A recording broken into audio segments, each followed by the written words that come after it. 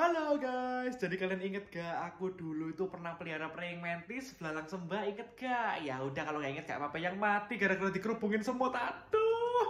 Nah itu kan terariumnya itu dulu aku pakai buat pelihara dia. Sekarang aku pakai buat eh, nggak uh, nggak buat pelihara apa-apa sih. Aku sempat habis pelihara praying mantis tuh terariumnya aku pakai buat pelihara tarantula, brachypelma brachypelma hamori ya guys ya. Nah habis gitu gara-gara mungkin kandangnya terlalu besar aku pindah ke terrarium yang lebih kecil atau kandang akrilik gitu supaya lebih gampang untuk dikontrolnya ya guys ya. Terus sekarang aku bikin terrariumku itu jadi semacam hutan mini aku tanamin banyak sekali tumbuhan. Jadi ini update tentang terrariumku mungkin nanti aku bakal beli kodok atau hewan apa pun hewan kecil-kecil antara milipit atau apa pun lah pokoknya buat si terrarium ini ya guys ya. Oke jadi enjoy the video jangan lupa like comment dan subscribe. Let's go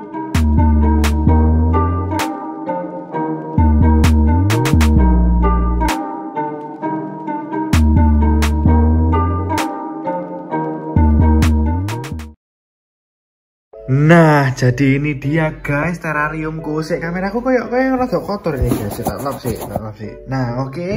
Nah, jadi ini dia guys terrariumku. Jadi ya piye ngono ya modelnya guys ya. jadi aku di sini tumbuhannya tuh 100% gratis. Aku nggak ada yang beli sama sekali guys.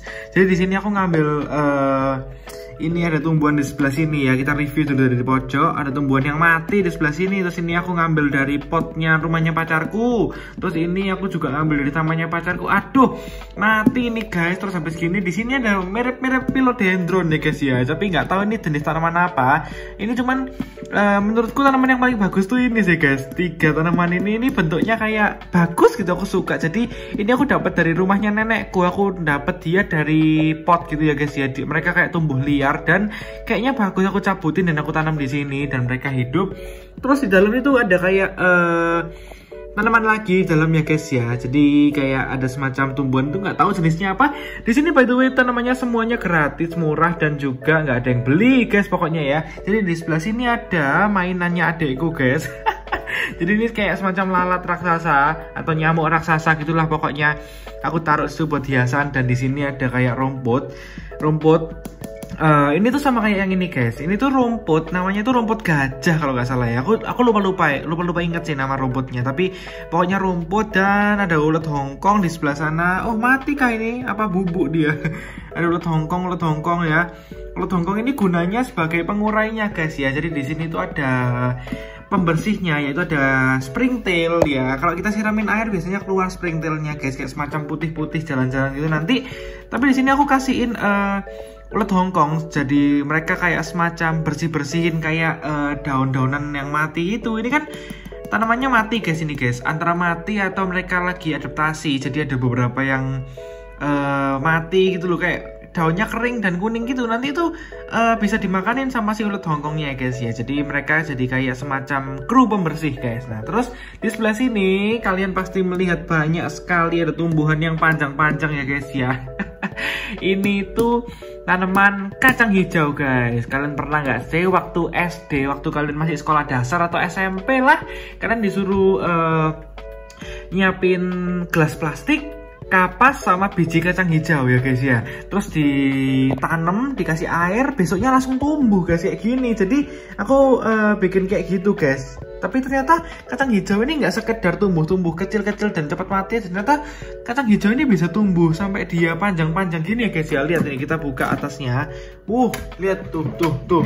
Tuh. Wah mantap guys lihat nih dari atas aku suka sih guys. Dari atas tuh kayak viewnya rimbun banget bagus banget adem banget ya. By the way di dalam ini rasanya kayak hangat gitu loh guys. Soalnya kan ini di kamar tuh guys. Jadi kamarku ini ber AC dan aku kalau masukin tanganku di sini rasanya hangat. Gak kayak di kamarku. Kamarku ini dingin guys. Aku pasang suhunya di 20 derajatan jadi Hmm, dalamnya ini dia bisa hangat karena mungkin karena lampu ini loh guys. Aku pakai lampu walaupun dia LED, dia ini uh, memberikan kehangatan. Anjay, mantap. Jadi aku cuma mau update ini aja. Mungkin nanti next aku bakal uh, bikinin eh bukan bikinin bakal masukin hewan ya guys ya di terrarium ini. Aku masih nggak tahu apa kayaknya sih hewan yang paling gampang buat di sini itu antara kaki seribu ya atau milipit ya bisa itu milipit dia juga bisa dikasih uh, kata ya guys ya. Kayak dart frog itu bisa tapi dart frog kemahalan buat aku guys. Jadi kita cari alternatif yang lebih murah aja ya kayak semacam apa Pacman nggak bisa sih? Di sini Pacman kayak kurang gitu deh. Uh, apa ya? Kata-kataan kecil lah antara golden apa ya namanya golden dwarf tree frog ya guys kayaknya guys ya. Nah itu terus uh, kodok-kodokan lainnya lah aku cari-cari dulu ya guys ya. Atau bisa dikasih mantis ya guys. Orchid mantis. Hmm orchid mantis keren gak kira-kira guys? Keren sih harusnya ya.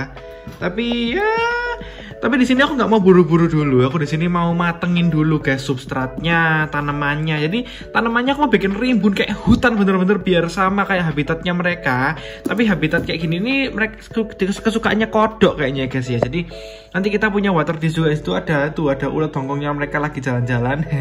Jadi Cuma segitu aja mungkin update-nya tentang si terrariumku ini. Apa ya, lagi kerjain supaya dia bisa tumbuhannya itu rimbun kayak hutan gitu loh. Aku soalnya bikin, bikin pengen bikin hutan tapi di dalam akuarium guys. Jadi aku pengen bikin hutan mini, konsepnya hutan guys pokoknya. Jadi mau bikin ekosistem yang aku pindah di dalam terrarium ini guys, oke? Jadi kalian tunggu update selanjutnya. Mungkin aku bakal beli hewan sih guys, oke? Jangan lupa komen, like, dan subscribe. Terima kasih sudah menonton guys. Dan kalian komen dong Nenanya terrarium ini tuh ditambahin apa lagi guys? Ditambahin kayak tanaman apa? Atau nanti bakal hewannya apa gitu ya guys ya? Aku tanya galau banget guys. Oh ya by the way ini sebelumnya uh, terrarium buat si tarantulaku guys. Tapi tarantulaku udah aku pindah tempat di uh, uh, akrilik gitu ya guys ya. Jadi uh, supaya lebih gampang dikontrol guys oke? Okay?